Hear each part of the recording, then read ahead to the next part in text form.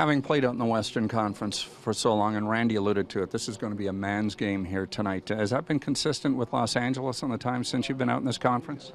Yeah, obviously they're a big, strong team. They got a lot of big forwards, and uh, they play a pretty simple game and uh, dump a lot of pucks and forecheck, and and they don't give up a lot. Uh, obviously, there. I think they're probably, I think they're number one in goals against, and um, you know they they they play tight defensively, but uh, they don't give up their third guy. So uh, we're going to have to uh, earn everything we get. Can you draw anything off the Anaheim win in a game where you want to compete for the puck, win those battles, and, and obviously keep it away from them?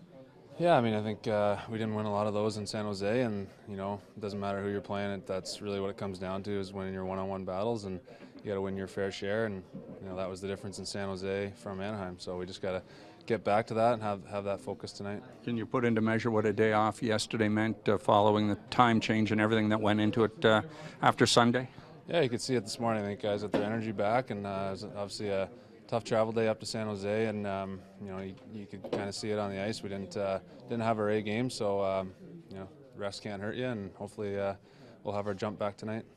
How different is this team on the penalty kill going back to mid-January from what we saw beforehand? You're up over 87% now, but it seems it comes down to a, a play here, a stick there, and that's that's the only difference.